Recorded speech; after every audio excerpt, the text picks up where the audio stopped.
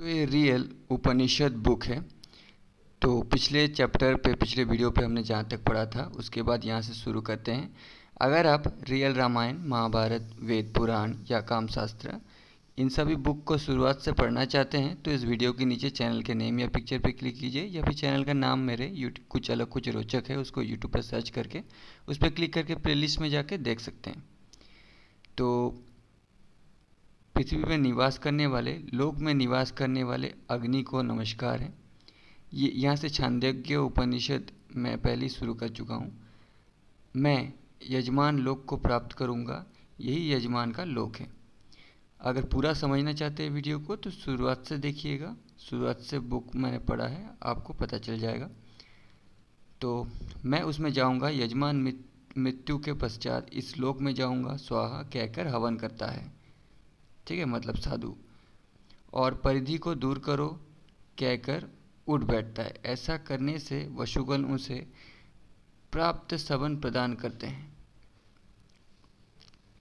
मध्य दिवस के सबन में यजमान दक्षिणाग्नि के पीछे की तरफ़ उत्तराभिमुख होकर बैठे और रुद्र देवता के शाम का भली प्रकार गायन करें। हे अग्नि, अंतरिक्ष लोक की प्राप्ति के निमित्त द्वार खोलो। वैराज्य को प्राप्त करने के लिए हम तुम्हारा दर्शन करेंगे। फिर इस मंत्र द्वारा हवन करें। अंतरिक्ष में बसने वाले तथा लोक में रहने वाले वायु को नमस्कार। मुझे, मुझ यजमान को लोक की प्राप्ति कराओ।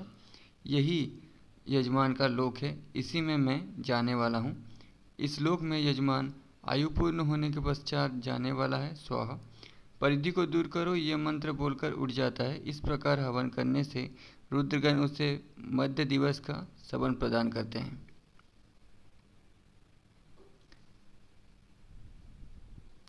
तीसरे सवन के प्रारंभ में आहवनीय के पीछे की तरफ़ उत्तराभिमुख बैठकर आदित्य देवता का शाम भली प्रकार गायन करें। हे अग्नि, स्वर्गलोक का द्वार उन्मुक्त करो। स्वराज्य की प्राप्ति के लिए हम तुम्हारा दर्शन करेंगे। इस प्रकार आदित्य देवता का शाम गाने के पश्चात विश्व देवता वाला शाम गावे। हे अग्नि, स्वर्गलोक की प्राप्ति के लिए द्वार को खोलो। हम साम्राज्य की प्राप्ति के निमित्त तुम्हारा दर्शन करेंगे। फिर इस मंत्र से हवन करें। स्वर्ग में बसने वाले आदित्य तथा विश्व देवों को नमस्कार। मुझ यजमान को लोक की प्राप्ति कराओ। यही यजमान लोक है।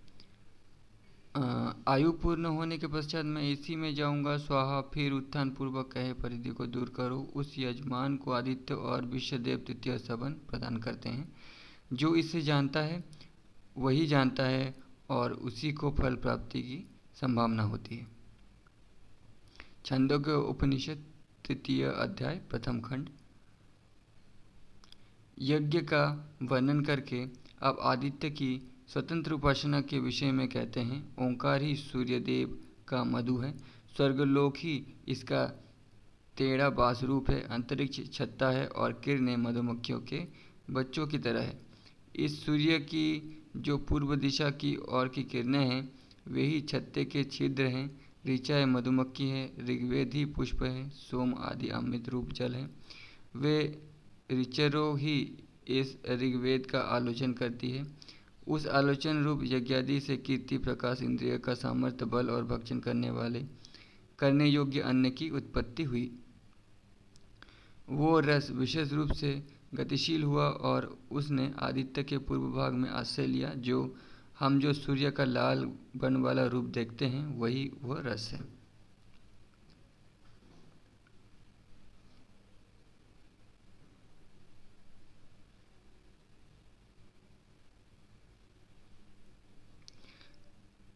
अब जो इस सूर्य की दक्षिणा की ओर किरणें हैं, वे इस छत्तों की दक्षिण तरफ़ की मधुनाड़ियाँ हैं। यजुर्वेद के मंत्र ही मधुमक्खी है। यजुर्वेद ही पुष्प है और सोमादि अमृत रूप जल है। उन्हीं यजुर मंत्रों ने यजुर्वेद को अवितप्त किया। उस अवितप्त यजुर कर्मों से कीर्ति, तेज इंद्रिय बल और भक्षण करने योग्य अन्न उत्पन्न हुआ। उस कीर्ति से लेकर अन्न तक के रस ने विशेष गमन किया और आदित्य का आश्रय लिया। सूर्य का जो श्वेत रूप दिखाई पड़ता है, वो यही है। अब जो सूर्य की पश्चिम पश्चिम और की किरणें हैं, वे दूसरी पश्चिम तरफ़ की मधुनाड़ियाँ हैं। सामंत्री मधुमक्खी है, सामवेदी पुष्प हैं और सोमादि अमृत रूप जल है।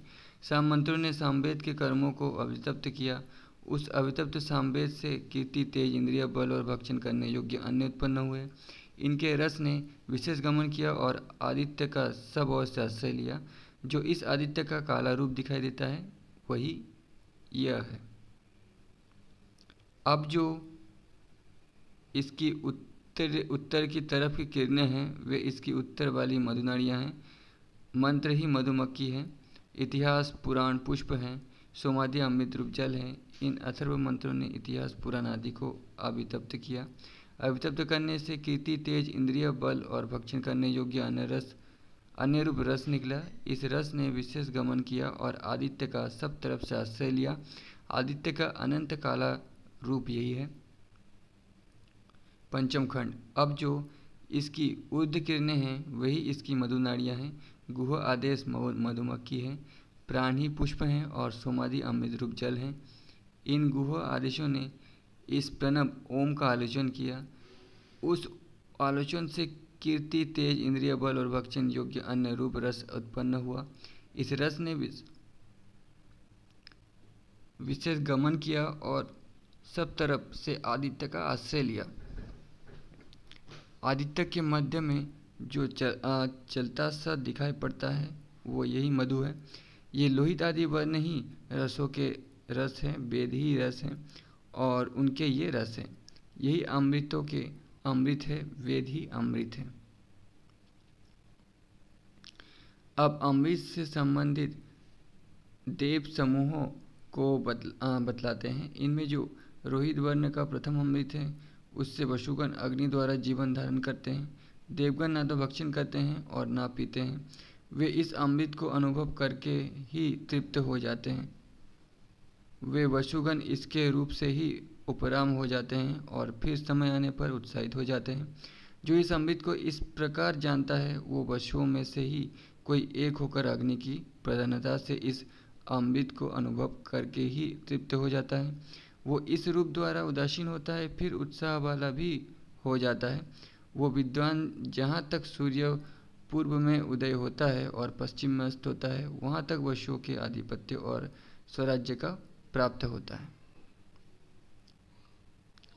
अब जो दूसरा मध्य दिन सबन नियामक अमृत है, उससे रुद्र देवगण इंद्र द्वारा उर्जीवन करते हैं। देवगण खाते नहीं, पीते नहीं। वे अमृत का अनुभव करके ही तृप्त हो जाते हैं। वे रुद्र इसी रूप को देखकर ही उपराम होते हैं और फिर उत्साहित भी होते हैं। जो इस अमृत की को इस प्रकार उपासना करता है, वो रुद्रों में से ही एक होकर इंद्र की प्रधानता में अमृत का अनुभव करके तृप्त होता है। वो इसी रूप को देखकर उपराम होता है और इसी से उत्साह युक्त हो जाता है। वो उपासक जहाँ तक आदित्य पूर्व में उदय होता है और पश्चिम में अस्त होता है, वहाँ तक के रुद्र के आधिपत्य और स्वराज्य को प्राप्त करता है। अब तीसरे अमृत से आदित्यगण वरुण वरुण द्वारा उपजीवन करते हैं। देवगण ना तो खाते हैं, ना पीते हैं, वे अमृत का अनुभव करके ही तृप्त हो जाते हैं। वे इसी रूप से भोग काल न होने से उपराम होते हैं और फिर इसी रूप में भोग काल आने पर उत्साहित हो जाते हैं। जो इस अमृत की, को इस प्रकार उपासना करता है वह आदित्य में से ही एक होकर वरुण द्वारा इस अमृत को अनुभव करके तृप्त हो जाता है। वो इसी रूप में से उपराम होता है और इसी से उत्साह युक्त होता है। वो उपासक जहाँ तक सूर्य दक्षिण में उदय होता है और उत्तर में अस्त होता है, वहाँ तक आदित्य से ही आधिपत्य और स्वराज्य को प्राप्त करता है। अब जो चौथा अमृत है, उससे मरुदगण सोम की प्रधानता से उपजीवन करते हैं। देवगण ना तो खाते हैं, ना पीते हैं। वे इस अमृत का, अमृत को अनुभव करके ही तृप्त हो जाते हैं। इसी रूप से वे उपराम होते हैं और फिर इसी से उत्साहयुक्त होते हैं, जो इस अमृत को इसी प्रकार उपासना करता है। वो भी मरुतों में से ही एक होकर इस अमृत के अनुभव से तृप्त होता है और इसी रूप से उदासीन तथा इसी से उत्साह युक्त होता है। वो उपासक जहाँ तक सूर्य पश्चिम में दृष्टिगोचर होता है और पूर्व में अस्त होता है अथवा उत्तर में उदय होता है और दक्षिण में अस्त होता है, वहाँ तक मरुतों के आधिपत्य और स्वराज्य को प्राप्त करता है। अब जो पांचवा अमृत है, उससे साध्यगण ब्रह्मा द्वारा जीवन धारण करते हैं। देवगण खाते नहीं, पीते भी नहीं, वे अनुभव करके ही तृप्त हो जाते हैं। वे इसी रूप से उदासीन होते हैं और फिर इसी से उद्यमशील हो जाते हैं। जो इस अमृत की इस प्रकार उपासना करते हैं, वो साध्य में से ही एक होकर ब्रह्मा द्वारा इस अमृत का अनुभव करके तृप्त होता है। वो इसी रूप से उदासीन और इसी से उत्साहित होता है। जहाँ तक सूर्य उत्तर में उदय और दक्षिण में अस्त होता है।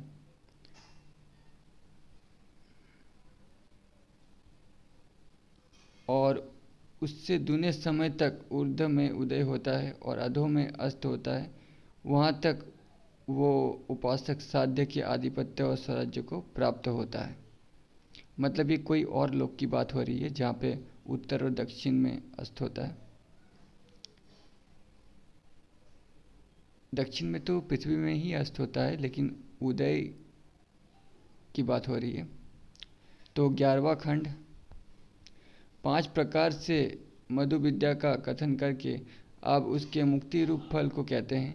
इसके पश्चात वे वाणी ब्रह्मीभूत होकर प्रकाश पाकर ना तो उदय होते हैं और ना अस्त होते हैं। वे अपनी अद्वितीय आत्मा में स्थित हो जाते हैं। इसमें यह मंत्र है उस ब्रह्मलोक में सूर्य का उदय अस्त नहीं होता है। देवगण में सत्य द्वारा ब्रह्म से विरुद्ध ना हो, अर्थात मुझे ब्रह्म की प्राप्ति हो, जो इस वेद के रहस्य को इस प्रकार जानता है, उसके लिए सूर्य कभी उदय नहीं होता, ना अस्त होता है। उसके लिए सदैव दिन ही है। इस मधु विद्या को हिरण्यगर्भ ने विराट से कहा, विराट ने मनु से कहा, मनु ने प्रजाओं से कहा और फिर अरुणि ने अपने बड़े पुत्र उद्दालक से कहा, इस ब्रह्मज्ञान को पिता बड़े पुत्र से कहे और आचार्य योग्य शिष्य से कहे, अन्य किसी से ना कहे, चाहे वो आचार्य को समुद्र से परिवेष्टित और धन से भरी इस समस्त पृथ्वी को दे, क्योंकि वो ब्रह्म ज्ञान उस सबसे अधीन बहुमूल्य है। ये सबसे श्रेष्ठ है। अब गायत्री द्वारा ब्रह्म का निरूपण करते हैं। गायत्री ही सर्वभूत रूप है। जो कुछ स्थावर और जंगम है, सब गायत्री ही है। वाणी ही गायत्री है और वाणी ही सब प्राणियों का कथन करती है और रक्षण करती है। ये जो सर्वभूत रूप गायत्री है, वही पृथ्वी है जिससे इसमें सर्वभूत रहते हैं और इसको उल्लंघन कर, करके नहीं जाते। जो यह पृथ्वी रूप गायत्री है, वही इस पुरुष के शरीर में है जिससे उसमें प्राण स्थित हैं और उसे त्याग कर नहीं जाते। जो इस दिव्य पुरुष का शरीर है, वही इसका अंतर हृदय है, जिससे उसमें प्राण स्थित रहते हैं और उसे त्याग कर नहीं जाते। अब गायत्री चार पद वाली और छह प्रकार वाली है। इसके लिए ये मंत्र भी कहा है, इस गायत्री रूप अवच्छिन्न ब्रह्म को ऐसे ही महिमा है। इससे भी महत पुरुष है इस ब्रह्म का। एक पाद सर्वभूत है और तीन पाद वाला पुरुष अमृत और प्रकाश युक्त आत्मा में स्थित है। जो ये प्रसिद्ध ब्रह्म है, वो यही है। जो इस पुरुष के बाहर आकाश है, वो यही है। वो यह ब्रह्म ही है। इस पुरुष के भीतर जो आकाश है, वो यही है। इस हृदय कमल के भीतर जो आकाश है, वो यही है। जो इस सर्वव्यापक और अविनाशी ब्रह्म की उपासना करता है, वो पूर्ण और उच्छेद रहित विभूति को प्राप्त करता है।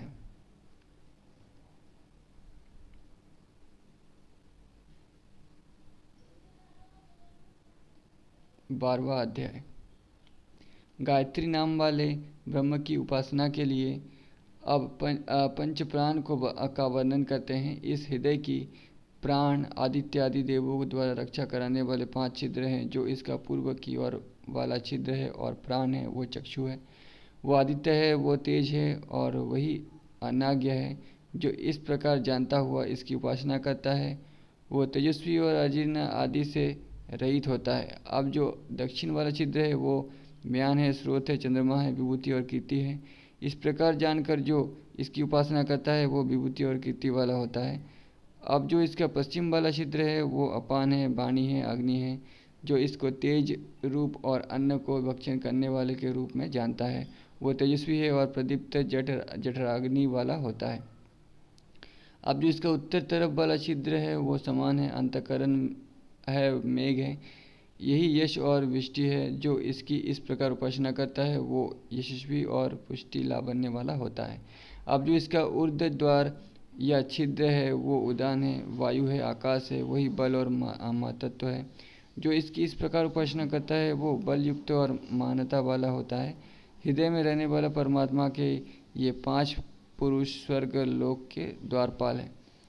जो इन पाँच पुरुषों की इस प्रकार उपासना करता है, उसके कुल में वीर पुत्र उत्पन्न होते हैं। जो इनकी परमात्मा लोक के द्वारपाल के रूप में उपासना करता है, वो परमात्मा को पाता है। अब जो स्वर्गलोक से भी ऊपर ये परम ज्योति प्रकाशित होता है, जो विश्व के ऊपर, सबके ऊपर तथा सबसे उत्तम लोकों में प्रकाशित होती है वही इस पुरुष की अंतर ज्योति है। उस ज्योति का ज्ञान स्पर्श द्वारा शरीर में ज्ञात होने वाली उष्णता से होता है। इसका शोभनोपाय यह है कि जब कानों को अंगुलियों से बंद करके रय के घोष और बैल के डकराने का तथा जलती हुई अग्नि का शब्द शरीर के भीतर सुना जाता है जो इस ज्योति को दिष्ट और शुद्ध जानकर उपासना करता है, वो इससे दर्शनीय और यशस्वी होता है। तो आप भी कान को बंद करके देखिएगा, जलती हुई अग्नि जैसा शब्द होगा। प्रतीत द्वारा ब्रह्म की उपासना कहकर आप प्रतीत का त्याग करके सगुण ब्रह्म की उपासना बदलाते हैं। ये सब निश्चय ही ब्रह्म है, क्योंकि ये जगत ब्रह्म में ही उत्पन्न उसी में लय होने वाला है और उसी में स्थित हैं। राग द्वेष से मुक्त होकर उसकी उपासना करें क्योंकि जीव निश्चय रूप है। इस शरीर में जीव जैसा निश्चय वाला होता है, वैसा ही इस शरीर को त्यागने पर भी होता है। अतः उसे निश्चय करना चाहिए। परमात्मा मनोनय प्राण रूप शरीर वाला, प्रकाश स्वरूप, सत्य संकल्प, आकाश जैसे स्वरूप वाला सर्व जगत जी जिसका कर्म है, ऐसा सर्व काम वाला, सर्वगंध वाला, सर्वस्व वाला सर्व जगत में व्याप्त वाणी रहित और असंभ्रभ रहित है। यह मेरे हृदय के भीतर का आत्मा चावल से, जो जौ से, सरसों से, व सांबा के चावल से भी अत्यंत सूक्ष्म है। साथ ही यह मेरे भीतर का आत्मा पृथ्वी से, अंतरिक्ष से, स्वर्ग से, सब लोगों से भी महान अर्थात अनंत है।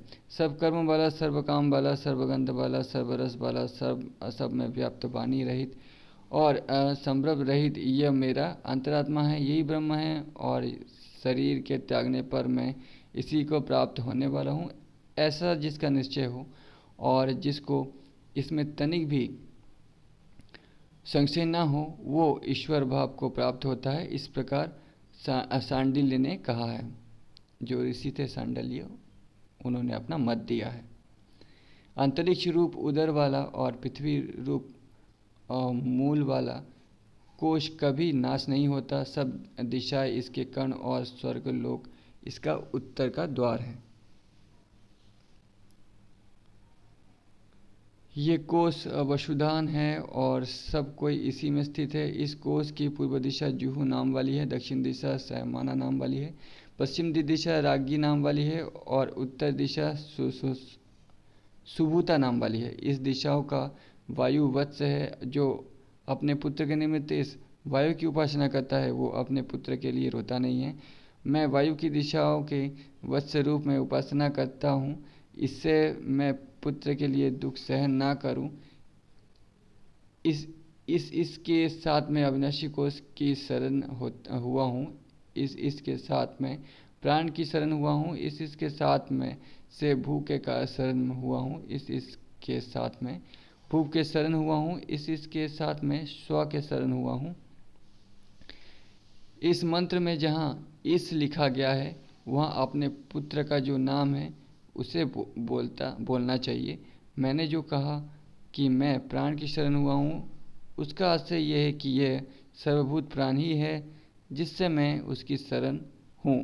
फिर मैंने जो कहा कि मैं भू की शरण हुआ हूँ तो उसका अर्थ यह है कि पृथ्वी की शरण हूँ अंतरिक्ष की शरण हूँ स्वर्ग की शरण में हूँ फिर जो कहा है कि भूप की शरण हुआ हूँ तो उसका आशय यह है कि अग्नि की शरण में हूँ वायु की शरण में हूँ आदित्य की शरण में हूँ फिर कहा स्व की शरण हुआ हूँ उसका आशय यह है कि ऋग्वेद की शरण हूँ यजुर्वेद की शरण हूँ सामवेद की शरण में हूँ ऐसा मैंने कहा